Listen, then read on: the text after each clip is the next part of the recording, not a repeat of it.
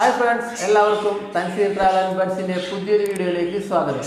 അപ്പോൾ ഇന്നത്തെ വീഡിയോയിൽ നമ്മൾ പറയാൻ പോകുന്നത് വളരെ വളരെ ഇമ്പോർട്ടന്റ് ആയിട്ടുള്ള ഒരു കാര്യമാണ്. അപ്പോൾ ഞാൻ ഇന്ന് എന്റെ ബേഡ്സിന്റെ റൂമിലേക്ക് വന്നപ്പോൾ അവിടെ കുറച്ച് സ്ഥലങ്ങളിൽ ബേഡ്സ് എല്ലാം എഗ് ചെയ്ത് ഹാച്ചായി ചിക്സിനായിട്ടൊക്കെ ഉണ്ടായിരുന്നു. അപ്പോൾ കഴിഞ്ഞ ദിവസം നോക്കുമ്പോൾ ആ ചിക്സിനൊന്നും യാതൊരു പ്രശ്നം ഉണ്ടായിരുന്നില്ല. പക്ഷേ ഇന്ന് ഒരു പോട്ടിൽ നോക്കുന്ന സമയത്ത് അതിനൊരു ചിക്ക് ഡെഡ് ആയിട്ടുണ്ട്. അപ്പോൾ അതെന്തുകൊണ്ടാണ് പെട്ടെന്ന് ചിക്സ് ചത്തു പോകുന്നത് അപ്പോൾ അത്തരത്തിലുള്ള കാര്യങ്ങളെ കുറിച്ചിട്ടുള്ളൊരു ഡീറ്റെയിൽഡ് വീഡിയോ ആണ് നമ്മൾ ഇന്നത്തെ വീഡിയോയിൽ പറയാൻ പോകുന്നത്. അപ്പോൾ എല്ലാവർക്കും വീഡിയോയിലേക്ക് ഒരിക്കൽ കൂടി സ്വാഗതം. അപ്പോൾ ഇവിടെ നമ്മളുടെ ബേർഡ്സ് എല്ലാം ബ്രീഡിങ്ങിലാണ് പോട്ട്സിലൊക്കെ ചില പോട്ട്സിലും ബ്രീഡിംഗ് ബോക്സിന്റെ അകത്തൊക്കെ എഗ്സ് ഒക്കെ ഉണ്ടായിരുന്നു. അപ്പോൾ ഇന്ന് ഞാൻ ബേർഡ്സിന്റെ റൂമിൽ കയറുന്ന സമയത്ത് ഈ ഒരു പോട്ടിന്റെ അകത്തുള്ള ഒരു ചിക്സ് ഉണ്ടായിരുന്നു ഈ പോട്ടിന്റെ അകത്ത്. അപ്പോൾ നമ്മളുടെ കഴിഞ്ഞ വീഡിയോസ് കണ്ടവർക്ക് അറിയാൻ പറ്റും. നമ്മളെ റെഡ് ഐ ബഡ്ജീസിനെ കുറിച്ചിട്ടുള്ളൊരു വീഡിയോ നമ്മൾ ചെയ്തിട്ടുണ്ടായിരുന്നു.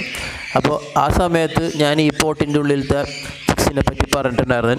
അപ്പോൾ ഇതിന്റെ പാരന്റ് റെഡ് ഐ ആയിരുന്നു. പക്ഷേ ഇതിൽ ഉണ്ടായിരുന്ന ചിക്ക് എന്ന് പറയുന്നത് നോർമലായാണ് പക്ഷേ ഇന്ന് ഞാൻ നോക്കുന്ന സമയത്ത് ആ ചിക്ക് അതിന്റെ അകത്ത് ഡെഡായിട്ടുണ്ടായിരുന്നു അപ്പോൾ ആ ചിക്ക് ഡെഡായി കിടക്കുന്നതാണ് ഇപ്പോൾ നമുക്കിവിടെ കാണാൻ പറ്റുന്നത്. കണ്ടില്ലേ? അത് ശരി ചത്തുപോയി കുഞ്ഞ്. ഒരുവിധം വലുതായ കുഞ്ഞായിരുന്നു. ഒരു പത്ത് പതിനഞ്ച് ദിവസമൊക്കെ ആയിട്ടുണ്ടാവും. പക്ഷേ അതിന് വളർച്ചയ്ക്ക് കുറച്ച് പ്രോബ്ലംസ് ഒക്കെ ഉണ്ടായിരുന്നു. കാരണം പത്ത് പതിനഞ്ച് ഡേയ്സ് കഴിഞ്ഞ ചിക്സ് ഒക്കെ ആണെങ്കിൽ എന്തായാലും ഫെദറൊക്കെ വന്നിട്ടുണ്ടാവും. നമുക്കപ്പോൾ എന്തായാലും പോട്ടിൽ നിന്ന് ആ ചിക്കനെടുത്ത് വെളിയിൽ കളയാം. പോട്ട് മാറ്റി വെക്കുകയും ചെയ്യാം.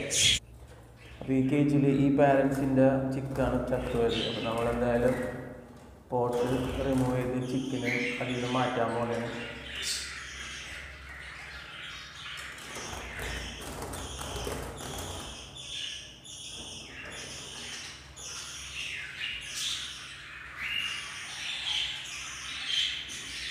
അപ്പോൾ ചത്തത്ത് രണ്ട് ദിവസമായ പോലെ ഉണ്ട്. ശരിക്കും മരവിച്ച് കിടക്കുന്നതാണ് ബേർഡ് അപ്പോൾ ഇതെന്തുകൊണ്ടാണ് ഇങ്ങനെ സംഭവിക്കുന്നത്?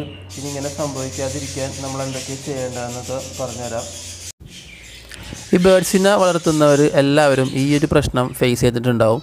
അതായത് ബേർഡ് എഗ് ചെയ്ത് ഹാച്ചായി ചിക്സൊക്കെ വെളിയിൽ വരാനുള്ള ടൈമായി അതായത് ചിക്സൊക്കെ ഒരുവിധം വലുതാവാറാകുമ്പോഴത്തേക്കും ചിലപ്പോൾ പോട്ടിന്റെ ഉള്ളിലിരുന്ന് ഡെറ്റായി പോകുന്ന ഒരവസ്ഥ ഉണ്ട് അപ്പോൾ ആ ചിക്സിന്റെ ഉള്ളിൽ അതായത് ഇപ്പോൾ ഒരു നാല് ചിക്സൊക്കെ ഉണ്ടെങ്കിൽ തന്നെ അതിൽ തന്നെ ഏതെങ്കിലും ഒന്നോ രണ്ടോ ചിക്സിന് വളർച്ചക്കുറവ് അത്തരത്തിലുള്ള പ്രശ്നങ്ങളൊക്കെ കാണാനുള്ള ചാൻസ് ഉണ്ട്. അതായത് പത്ത് പതിനഞ്ച് ദിവസം എന്നൊക്കെ പറയുമ്പോഴത്തേക്കും പിൻ ഫെദേഴ്സ് അതായത് ഫസ്റ്റത്തെ ഫെദേഴ്സൊക്കെ വരുന്നൊരു സമയമാണ്.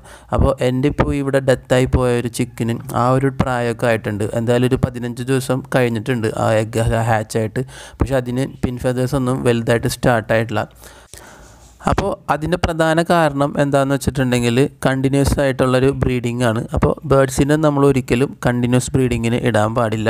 അതായത് ഒരു ക്ലച്ച് കഴിഞ്ഞാൽ ഉടൻ തന്നെ അടുത്ത ക്ലച്ച് സ്റ്റാർട്ട് ചെയ്യും ചിലർ അപ്പോൾ എനിക്കിവിടെ സംഭവിച്ചതെന്ന് പറഞ്ഞിട്ടുണ്ടെങ്കിൽ അതായിരുന്നു. അപ്പോൾ നോർമലി ഞാൻ ഒരു ഒരു ക്ലച്ച് കഴിഞ്ഞിട്ടുണ്ടെങ്കിൽ ഒരു ഇരുപത്തഞ്ച് ദിവസം അല്ലെങ്കിൽ ഒരു ഇരുപത് ദിവസമൊക്കെ റെസ്റ്റ് കൊടുത്തിട്ടാണ് അടുത്ത ക്ലച്ച് സ്റ്റാർട്ട് ചെയ്യണത്.